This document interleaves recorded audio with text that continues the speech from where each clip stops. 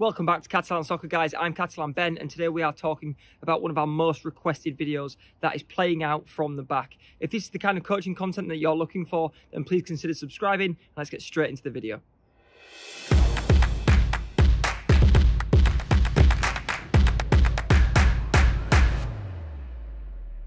The first part to developing your team to play out from the back is individual technique. Your players need to be able to receive and send the ball comfortably to allow you to play out from the back in any system. So you can have all the players moving in the right places and doing the right things, but if their technique lets them down, you will still give the ball away. You will still struggle to play out from the back to make sure they're building the strongest technique possible for passing, then you need to make sure that kids are training and practicing away from their sessions, not just on the football pitch with you, but when they're at home too. The more repetitions they get in and the more often they're receiving and sending the ball, the better they will get over a short period of time. So the first part to it is build technique and get players playing as many passes as possible.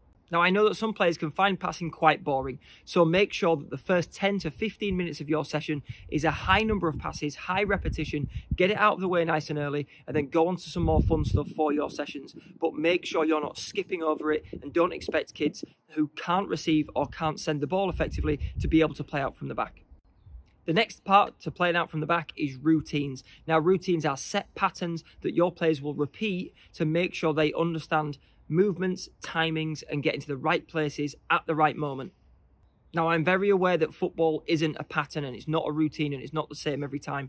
But by building patterns that they understand and by working through certain passing routines, you make sure that kids are at least doing the basics and getting into the right positions, which is a really good foundation to start playing out from the back.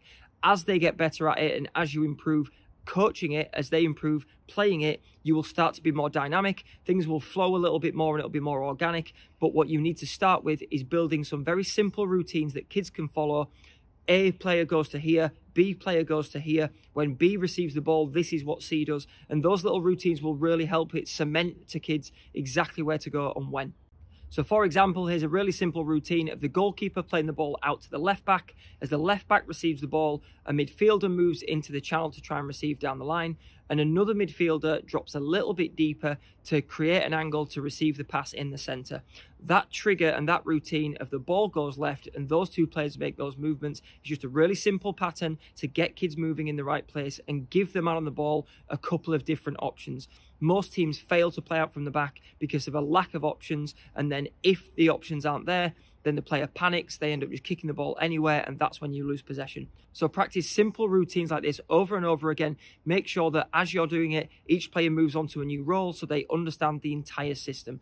If you start to pigeonhole kids and put the left back to just do all the left back passes and all the left back receiving, then they don't understand the movements and the timings and everything else that the other players are making. So after each round or after a few turns, make sure that players are moving to different positions within the pattern and then repeat. Once you have a few patterns that the kids are now comfortable with and they understand, you can start to bring these into practice at goal kicks from training. So anytime you're in a training game and the ball goes out for a goal kick, regardless of what happens before or after, just explain to the kids that you want to see that routine to get the ball back in play.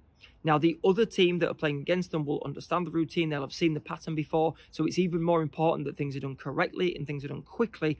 But if the man on the ball has got more than one option, you can still find a way out to play from the back.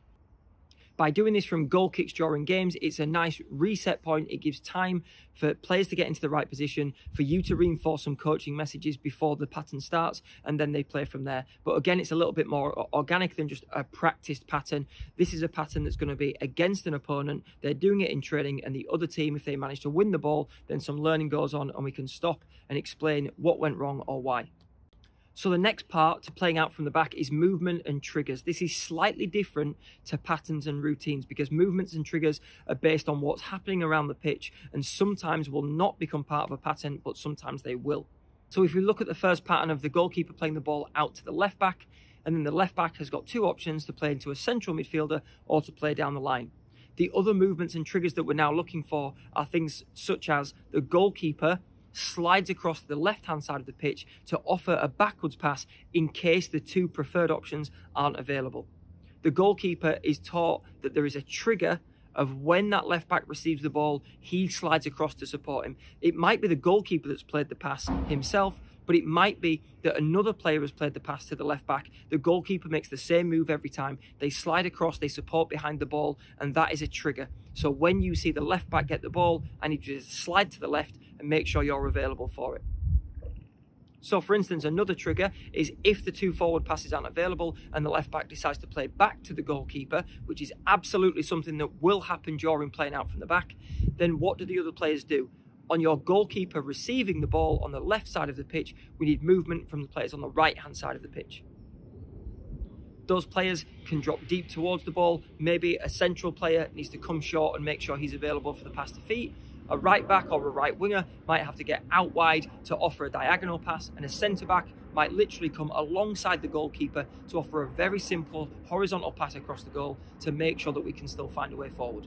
Now, we're just talking about one example here, but the absolute must is for you to get kids around the tactics board and get them to understand which triggers and which movements coincide together. So, if the ball goes into the right back, what triggers am I looking for as a coach? And what movements the players need to make to get into the right position to receive the ball from him. If the ball goes back to the goalkeeper, what does that trigger? Which movements from which players? And make sure not only have you explained that, but then kids can physically show you with markers or with a pen so you know that they really do comprehend the triggers and the movements. The next part we're going to look at is methods. Now, there are dozens of methods for playing out from the back, and it's very rare that you'll see teams play the same pattern every single time. They have to have a few different routines that they can run to get the ball out from the back.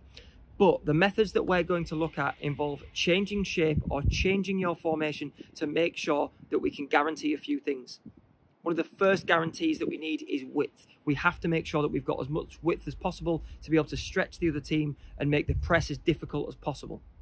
The second thing we need to make sure is that we've got depth now, that sometimes comes from centre backs dropping towards the goalkeeper, it comes from midfield players dropping into deeper positions, even dropping as like a third centre back to help you play out from the back. What you might find is that the formation that you prefer to play from an attacking point of view doesn't actually suit playing out from the back that well. So you might have to get a little bit creative with how your formation and a playing out from the back system will either blend together or you may have to change your attacking formation to improve your chances of being able to play out from the back. Here's an example of how a back four would play out from the back. So that involves two centre backs dropping deep towards the edge of the six yard box. That involves the two full backs, the left back and right back, coming really nice and wide and keeping a little bit of height to give us some forward passes. And it relies on at least one, if not two midfielders dropping in towards the ball where they can receive the ball directly from the goalkeeper or offer support to one of those back four players too. The next message for playing out the back is to stick with it. It takes a long time to get kids to understand principles, to understand triggers, to build technique, to get the movements right. And whilst they're doing all that, they will make a heck of a lot of mistakes. So you need to stick with it. You need to trust that it does work in the end, but it's a long process and it takes a lot of work, effort, and energy from you and from your players. I've seen coaches abandon their principles uh, after literally a couple of weeks of trying it. It isn't quite working. They revert back to long ball football and they give up just because it's not working over a very short and quick period of time.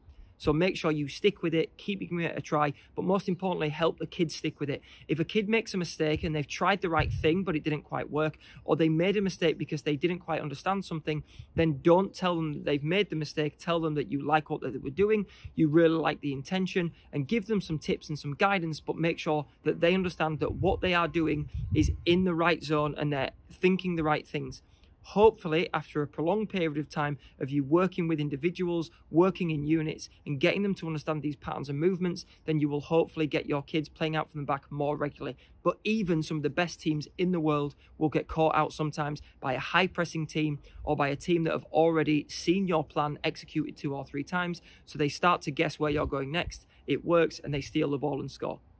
The next part to playing out from the back is dribbling, and most people associate playing out from the back with five, six, seven, eight, 15 passes that are very short and sharp, that tiki-taka style of football as it's known. But there's absolutely no reason that players can't dribble with the ball when playing out from the back. And actually, once you've run a pattern two or three times, or once your players have started to play out from the back, the opposing team and the pressing team might stop running at individual players who've got the ball. They might just start to try and cut off the options. So we'll show you here how dribbling can actually get you out of trouble. The ball goes out to the right back. The right back's typical option would be to go down the line to his winger or inside to his central midfielder. the opposing team cut off those two passes and don't actually put any real pressure on the ball. The right back then dribbles and drives forward with the ball to keep the attack flowing forward. And as he does that, we see second moves and different players coming into spaces. And then the playing out from the back can carry on, or then the passing sequence can resume. But just because a player is dribbling with the ball, it doesn't mean that they aren't playing out from the back. Obviously, this has to be well timed and well guided by the coach, but it's also important that the movements and the triggers and the work you do around your tactics board is all part of this. So make sure they understand when to pass, but when not to, how to pass, and most importantly, when a dribble can get you out of trouble, but also when a dribble will get you into trouble. And as a recap, guys, here's some do's and don'ts on playing out from the back do practice technique all the time. Make sure your kids are receiving the ball as well as passing the ball. Passing is not just about sending the ball to someone else, it's about receiving passes as well. The more comfortable your kids get on passing and receiving, the better they will get at playing out from the back do make sure you practice patterns and routines, even if they feel a little bit scripted and a little bit obvious. It's important that kids start to build a foundation of where to move and when to move. Don't give up just because something's not working. If kids are trying the right things and it's not quite coming off in games, then stick with it and keep working hard in training. I promise you, it might take a little bit longer depending on the age and the experience of your kids, but all teams can get there if they're trying the right things and doing the right things most of the time do have a plan B. Make sure there's an alternative and a different option for kids if things aren't quite working. But make sure that's been reinforced to the kids. They understand it and they know it. Don't drop it on them at the last minute. Practice it as part of your training. So here's all the things that we're going to try in training. Here's all the things that we're going to do. And then if it doesn't work, here's plan B and how we're going to put it into practice if plan A doesn't work. And don't discourage dribbling if it's done at the right time, if it keeps your team moving forward, and if the other team are cutting off passing options, then do encourage kids to run with the ball to get the ball out from the back. But make sure that kids understand that it doesn't just become all dribbling, and dribbling at the wrong time is very, very dangerous. Dribbling at the right time can be very useful.